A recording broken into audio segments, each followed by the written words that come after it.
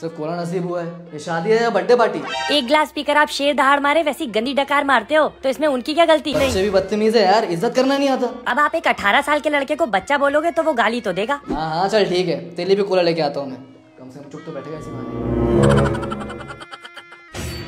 बारात भी इतनी लेट है भूखा ही मार देंगे ये लोग। अरे वो बात इतनी सी है कि वहाँ बारात में भी आपके जैसे खड़ूस चाचा हैं जिन्होंने दूल्हे को ही घोड़े से नीचे उतार दिया। क्या बात कर रहा है?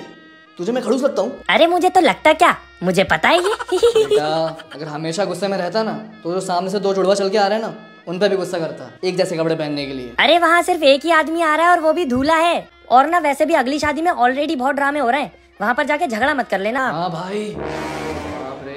वहाँ तो मुँह पे टेप लगा लूँगा मैं। जिस शादी का नाम सुन के अंकल ने अपने मुँह पे ताला लगा लिया सोचो कितने ड्रामे होंगे उस शादी में। अभी फ़िलहाल मैं अंकल को इस शादी के ड्रामे से बचाता हूँ पर आप स्टार प्लस पे अंगद और साहिबा की शादी में जलूल से जलूल पधारना।